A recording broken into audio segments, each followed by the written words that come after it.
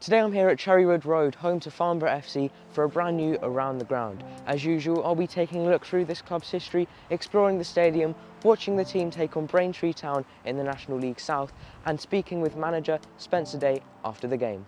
Let's go.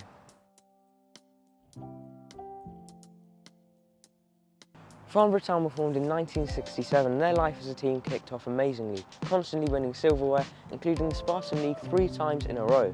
During this period, the club went an incredible 87 games unbeaten at home between 1973 and 1977. Throughout the 80s, the non-league outfit reached the FA Cup first round multiple times. In fact, between 1983 and 1991, they only missed out on a place in the first round just one time. During this period, they were also promoted to the conference.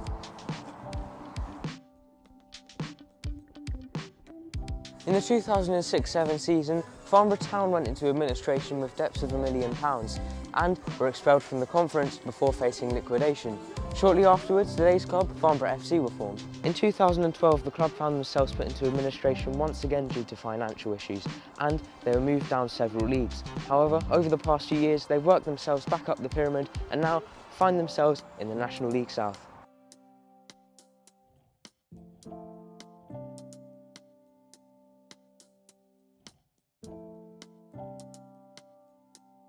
Farnborough play here at Cherrywood Road Stadium. The old club moved in back in the 70s and the new club continued to play here after formation. The ground has a capacity of 7,000 people and contains 1,927 seats. The record attendance here was 4,267, which was achieved when taking on Ebbsfleet in a 2011 playoff game. Farnborough's club shop contains lots of the usual merchandise such as jackets, scarves and shirts. However, they also have one of the largest collections of programmes I've ever seen.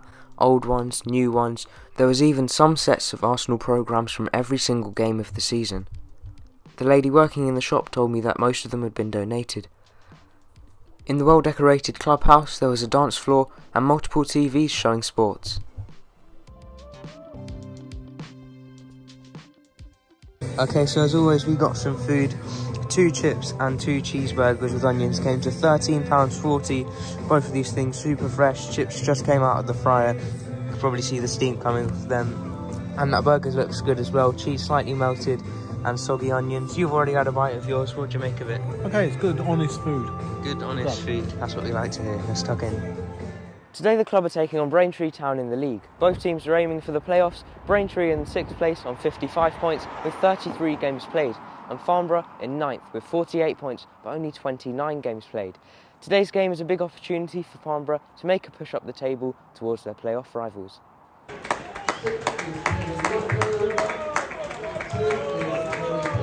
The game started off and, as a whole, was very, very scrappy, end to end, and the ball was constantly in the air.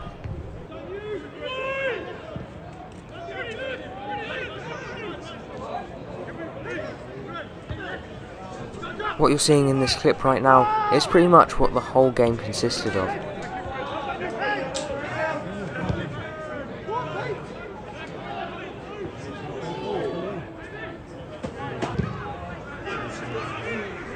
In the 59th minute, the best chance of the game came round, with an awful back pass given right to Blair.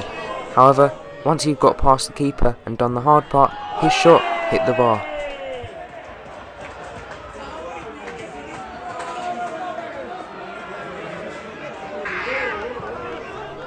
But on the 80th minute mark, another Blair attack ended in a penalty.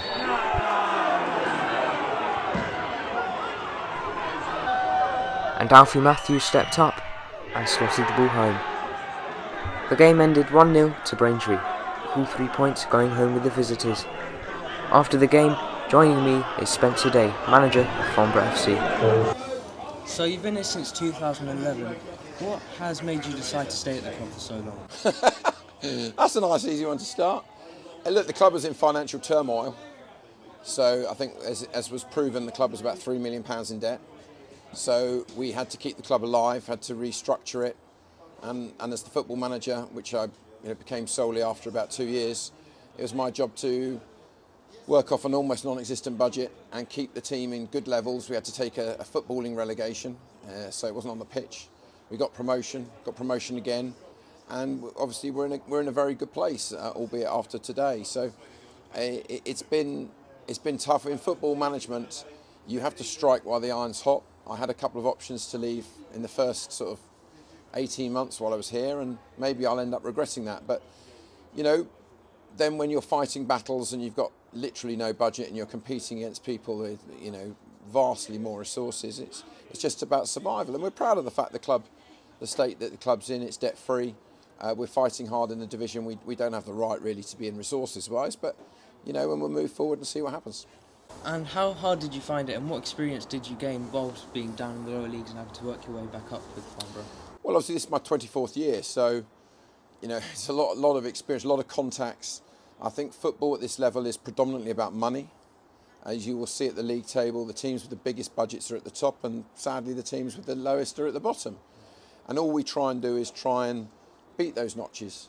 So I think it's fair to say when we got promoted from step four, that first year we were in there, I think we were in the top two or three budgets. We finished second and we won the playoffs. I think that's a par performance almost, as much as any promotion is difficult to achieve. You know, at the moment we're certainly right at the bottom of that level of, uh, of resources in this division against some teams that are even full time and certainly hybrid. Um, and we're competing very, very well, and it's about steady growth. You know, so at the end of the day, things are going well. It's been tough. The, cl the club's been restructured, and you just have to wait and see what happens tomorrow. And when you did join the club initially, did you have any aims or objectives? And if so, have you met them yet? Of course, truth.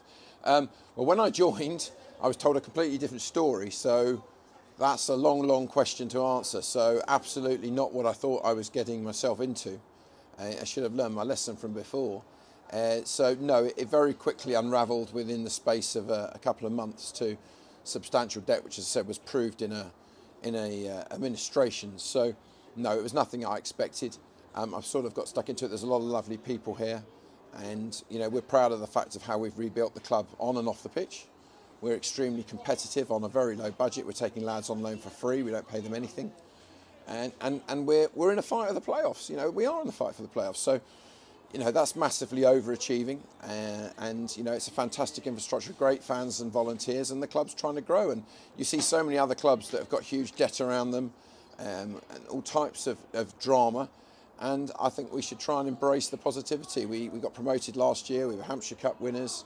Uh, I said the finance have been restructured. The ground's fantastic. The volunteers are amazing. So we've got a lot of things to be grateful for in a very difficult time. And of course, it was a loss today, but as you say, you still are in this uh, playoff battle. You've got two or three games in hand of those teams around you. How important do you think they're going to be in this race? Well, you'd always rather take points than games in hand. So we've got a small squad, and you know it's going to be tough. With the, the next five games are literally the top five sides, you know, resources and league positions. So nothing better than the team that's going to win the league by a canter, which is absolutely full time. And congratulations to them. We're all still jealous it's amazing we're playing them with greatest respect to the clubs we played last year. So we've got a chance. It's, it's, it's a slim chance. It's made worse by today, and I think we didn't deserve really to lose today. I think that should have been a draw, but it is what it is. We've got to play relentlessly. We need some luck. We need to keep away from injuries, suspensions, these illnesses. Uh, and today we didn't get much luck. You know, and again, we're talking about this a particular referee today, which is disappointing. And I think the league needs to look at that and quite frankly, I don't like talking about referees, but I don't think he should be appointed to us for the rest of the season. I think it's just wrong.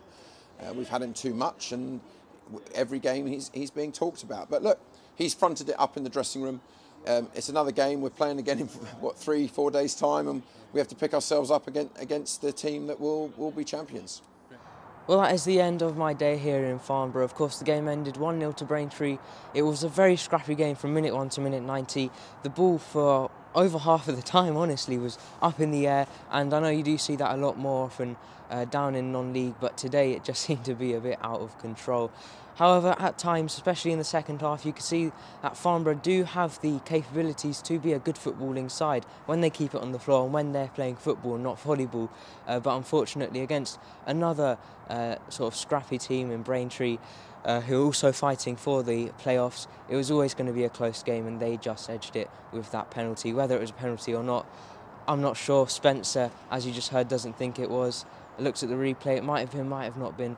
But of course, with football, it always goes down to them fine margins, and that was another one that decided the game today. But also, as Spencer says, uh, you know the team still are in the playoff battle now, especially uh, which is which is good because they got one of the smaller budgets in the league. Uh, they're got them two or three games in hand of everyone else. And yes, they do have a tough run of games coming up now, but I believe once they've got through them, if they can start to pick up form again, then they'll be very, very good to go. And uh, hopefully they can make that playoff uh, you know, semi-finals and finals by the end of the season. Thank you very much to Dom for arranging the interview here. We had a great time down in Farnborough. Make sure to get yourself down. I know there's a lot of competition in football around here. We saw Cove FC, Farnham FC we visited before, Aldershot FC in the National League, all within about 20, 30 minutes of each other around here.